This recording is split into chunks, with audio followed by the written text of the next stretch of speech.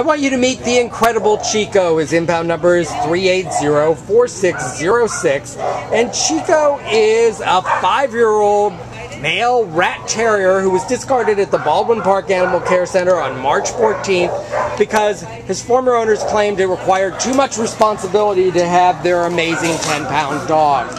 Chico is very well socialized and his tail is always wagging. He walks pretty well unleashed and he's great with other dogs and we think he's going to be really good with kids. He's a plug and play guy who's going to make the most loving companion for anyone in any living situation. We think he'd be perfectly well suited for a senior citizen.